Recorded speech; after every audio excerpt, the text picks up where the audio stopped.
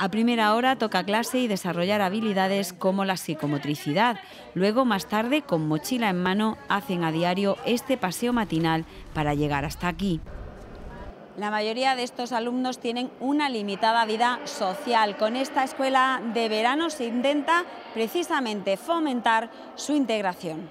Y a través del juego trabajan sobre todo la comunicación. En el sentido de poder comunicarse mejor poder pedir aquello que necesiten, que muchas veces es un gran problema, que por esa timidez no piden lo que verdaderamente le hace falta. Además, en esta escuela no hay límite de edad ni de discapacidad, una manera de romper barreras, ya que de no existir, muchos hubieran pasado el verano en casa. Tu casa, dormir, ver tele, jugar a la Wii y, y es la única opción que tiene. Sin embargo, aquí que pues sigue bueno, en este ambiente. Un reto porque voy así, estudio lo de la ESO, luego venimos aquí, jugamos piscina.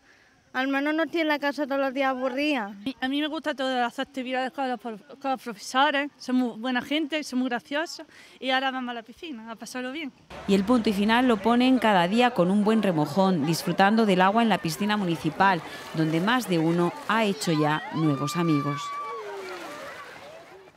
Este fin de semana el flamenco y el jazz del saxofonista Jorge Pardo se ha escuchado en las cuevas de Nerja, una fusión perfecta para disfrutar de la agenda veraniega de esta institución.